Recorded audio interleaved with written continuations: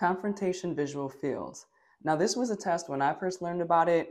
I thought it was overly complicated. I mean, dancing fingers, like, come on over here. And I'm just like, what?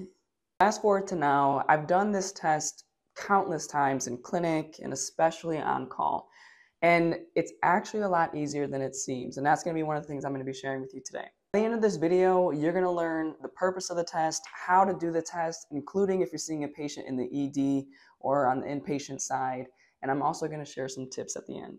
The purpose of the test is to give a general idea of whether the four quads of the peripheral vision are intact or if there's a field defect where maybe the patient doesn't have vision or has a decrease in vision. So when would be times that you would do this test? As an ophthalmologist, this is a part of my routine eye exam, and I consider it to be one of the eye vital signs. When I'm seeing a patient, I like to get a sense of their central vision, so their visual acuity, as well as their peripheral vision, and that's where confrontation visual fields come in. Other times when you consider doing this test is when you don't have the machine to do the visual field, like if you're seeing a patient in the emergency department or a patient that's admitted to the hospital. Also, if you do a formal visual field in the outpatient setting, like a Humphrey visual field, maybe the results are surprising to you. You could do a confrontation visual field to see if those results are reproducible, especially if it's a dense defect. And there's also situations where a patient is not able to do a formal visual field. You can at least get some general information by doing a confrontation visual field also be helpful if you're evaluating a patient for possible non-organic visual loss. It's also really important to know that doing a confrontation visual field test, it's not sensitive. It really gives you a general idea of whether or not there's a dense defect, like quadrantanopia, hemianopia, or an altitudinal defect. To get a sensitive test, the patient will need to do a formal visual field, which is generally done in the outpatient setting. So now the fun part. Let's talk about how to actually do the test. My dog just left, so I guess it's not that fun, but you want to position yourself in front of the patient with both of you guys sitting down and being at eye level. So imagine I'm sitting in front of a patient, the patient's in front of me as well, and we're at eye level. Distance wise, think of it as about a few feet away from the patient. You're not so close to the patient that they can tell what you had for lunch, but you're at a distance where if you had garlic, you would think about putting a mint in, just in case.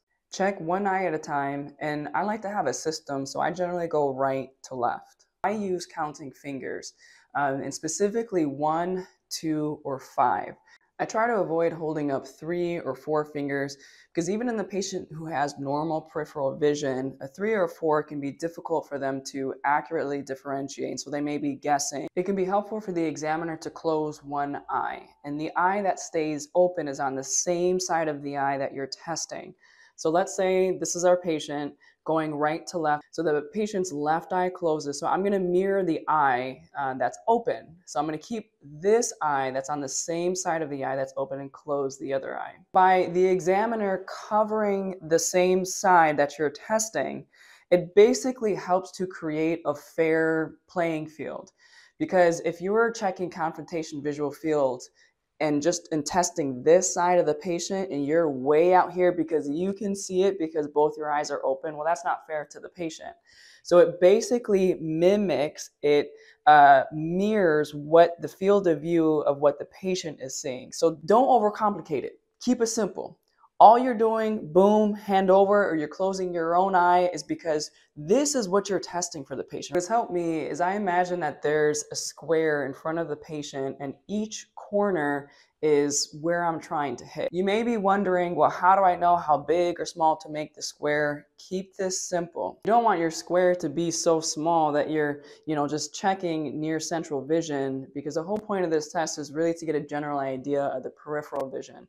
But you also don't want your hands to be all the way out here that's not what we're focusing on, right? So imagine if we're checking your right eye uh, right now, the corners are going to be right around that area. You want to have the patient look straight ahead. I have patients look at my nose while I'm doing the test. So let's go ahead and pretend that you're my patient and I'm checking your right side. We're going to go ahead and sit down. We're just a few feet away from each other. We're directly in the line of sight. And so I'm going to have you close your left eye. We're going to be testing your right eye first. So look right at my nose.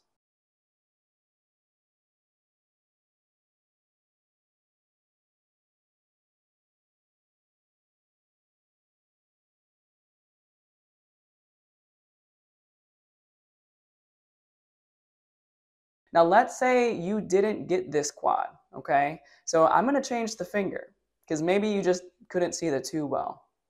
Let's say you still didn't get this one. I'm gonna go to another quad. I'm gonna come back to the quad that you did not get. So I want to reproduce that you're not able to see it.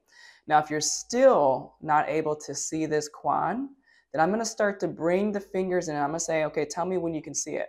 But if I go like this, and bring the fingers where it's directly in your central vision and you're still not saying anything. Sometimes patients either forget what they're supposed to do or they're focusing so much. So I'll say, okay, I'll blink a few times in a row, move my hand back, and then and if I bring the two fingers again, they're like two right away. Then it could just be that they, um, well, who knows? But when you're done checking the right eye, go ahead and have the patient switch and now check the left side. How do you do this test if the patient is in a supine position? Let's say you're seeing a patient in the ED, they're in a stretcher, or maybe you're seeing a patient that's admitted to the hospital and they're in a bed. See if you can bring the bed up and sit the patient up.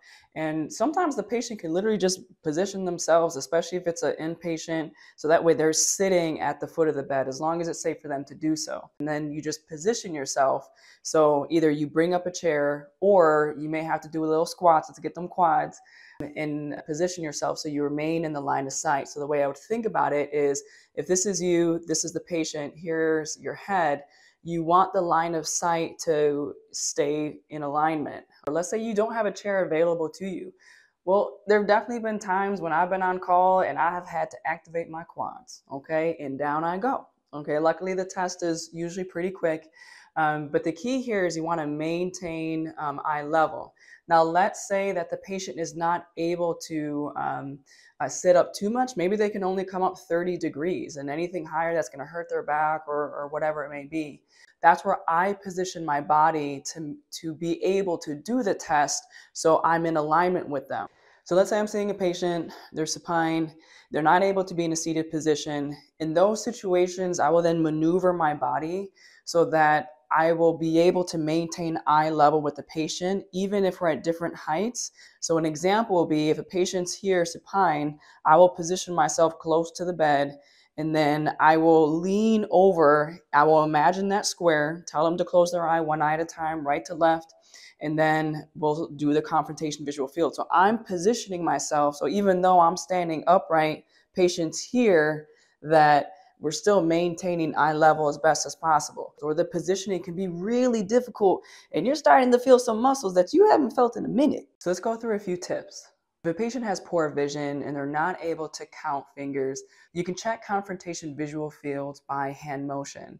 So that's where you're shaking your hand in the quad to see if the patient can identify that motion in the periphery. The patient was able to correctly identify where your hand was shaking in all four quads, then it's grossly full, and you can document some variation of confrontation visual fields full by hand motion in all quads. Another tip, if you're not sure, repeat it. Anytime a patient doesn't see my fingers in a certain quad, I always go back to it and I reproduce it. So I'm proving to myself that the patient cannot see my fingers.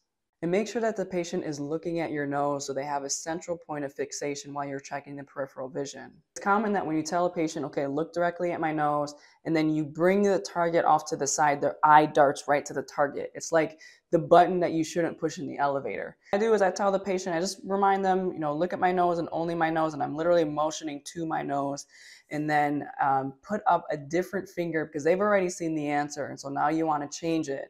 So in that case, you checked it twice. The first time they looked right at it, cheated. Um, and then you check the second time. Let's say they get it right, you can check the other quads, and then go back to that quad and retest it to confirm your findings. We've talked about how to test peripheral vision, but what about central vision, visual acuity? Well, I talk a lot more about that in the video that's popping up on the screen, so be sure to check it out. Let's make today a good day. Click that subscribe button, and I'll see you in the next video.